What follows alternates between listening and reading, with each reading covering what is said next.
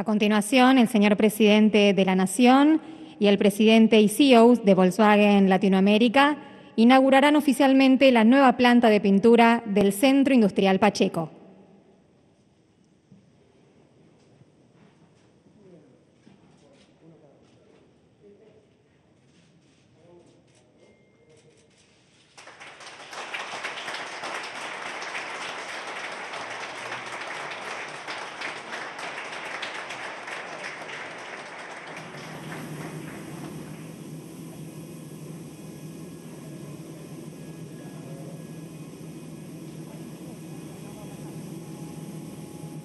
Llegando al cierre de este acto de inauguración de la nueva planta de pintura del Centro Industrial Pacheco, dirige la palabra el señor presidente de la Nación, doctor Alberto Fernández.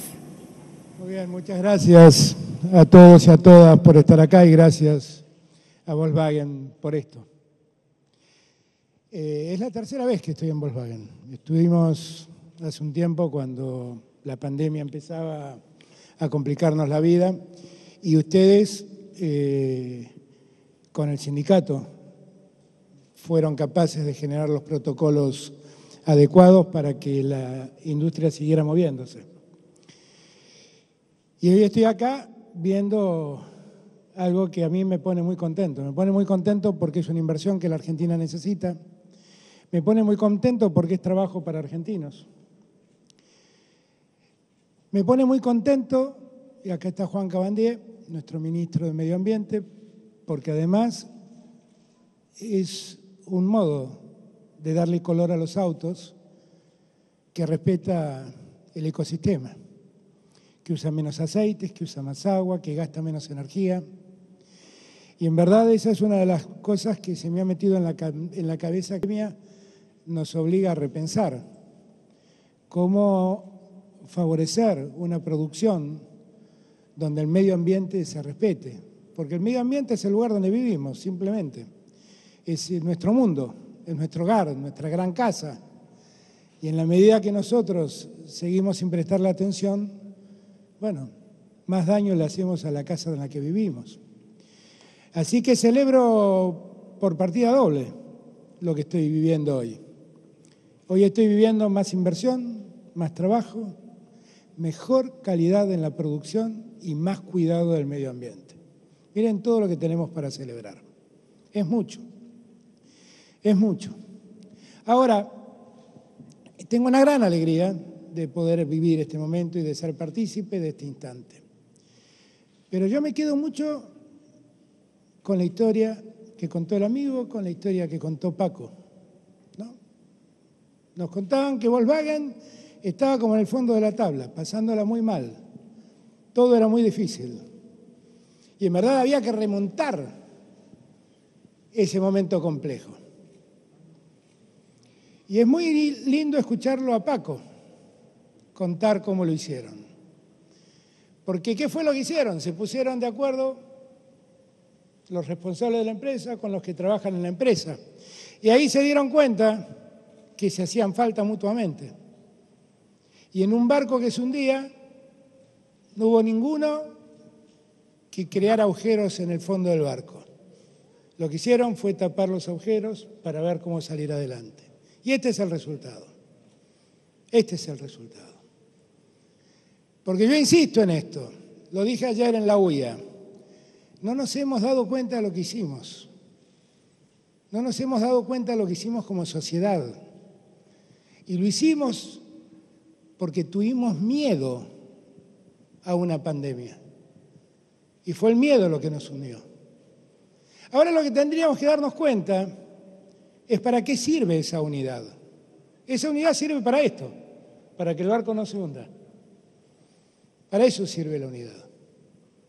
Y ahora lo que tendríamos que pensar es en la importancia de la unidad, no ya frente al miedo de un virus, que nos causa un virus, sino lo que vale la unidad frente al desafío de crecer, lo que vale la unidad frente al desafío del desarrollo, lo que vale la unidad frente al desafío de invertir y dar trabajo. Para eso sirve la unidad, no para salvarnos de un virus. Para salvarnos de un virus fue necesaria la unidad.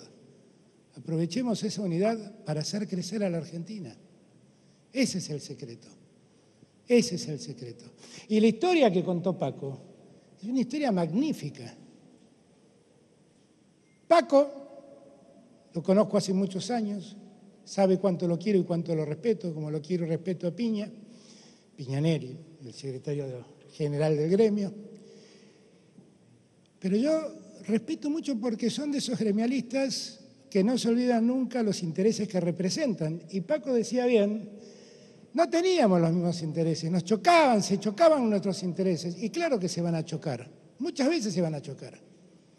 Porque uno es el interés del que trabaja y del que representa a los trabajadores, otro es el, el, interés del que maneja y representa de algún modo los intereses de los accionistas, otro es el interés del Estado, pero lo que tenemos que saber es ver cómo podemos potenciar los puntos de acuerdo y no potenciar los puntos que nos diferencian. Ese es el secreto. Y para hacerlo tenemos que trabajar juntos, siempre juntos. Que esa unidad que supimos forjar por el miedo de un virus se vuelva eterna y que la unidad sirva para hacernos crecer. Porque definitivamente es lo que nos hace falta. Nos hace falta empresas que confíen en la Argentina, que inviertan en Argentina, que den trabajo a la Argentina. Toda esta producción que estamos viendo, el 70% de esta producción de esas camionetas Taos se van a exportar. Esos son dólares que entran en una Argentina que necesita de dólares. ¿Se dan cuenta cuán virtuoso es todo lo que estamos viendo? Y esto se pudo hacer, como dijo el responsable para América Latina de la empresa, cuando la empresa estaba en el fondo de la tabla y necesitó de los jugadores, de motivar a los jugadores para que jueguen el partido más difícil y puedan salir victoriosos. Acá están, ganaron el partido. Los felicito. Déjenme que el Estado se sume a esta unidad y construyamos el país, esa Argentina que definitivamente todos nos merecemos. Gracias a todos y todas. Muchísimas gracias.